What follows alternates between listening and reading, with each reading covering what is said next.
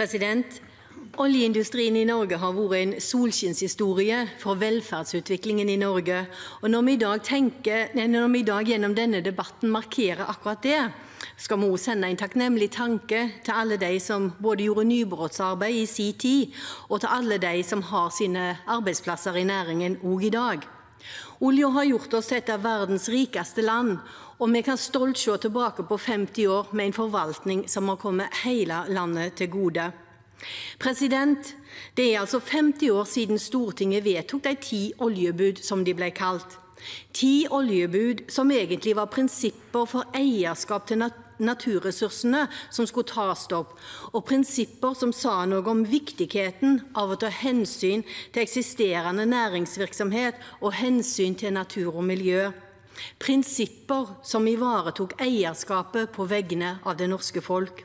Og president, det er slike prinsipper som har bidratt til at vi har en oljevirksomhet som er verdensledende innenfor flere områder, og som også gjør at Norge i dag er blitt et av verdens beste land å bo i. President, etter 50 år er det fremdeles oljeindustrien som er landets viktigste inntektskilde, og Høyre mener at det vil den nå være i mange år fremover. Petroleumsnæringen er en del av løsningen for Norge i arbeidet med omstilling til et lavutslippssamfunn.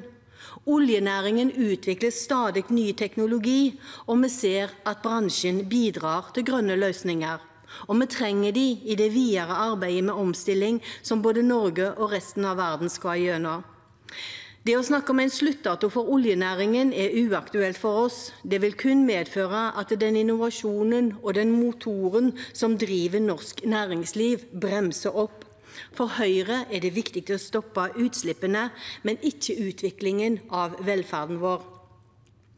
Det var kloke og gode prinsipper som ble vedtatt i 1971, og hvorvidt de samme prinsippene skal legges til grunn for andre næringer som er basert på våre naturressurser, det blir en viktig debatt.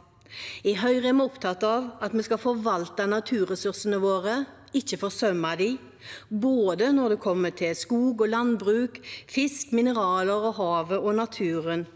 Det er, for, det er forvaltningsansvaret, det å overlate jorda i bedre stand til neste generasjon, som er grunnsteinen i Høyre sin klima- og miljøpolitikk.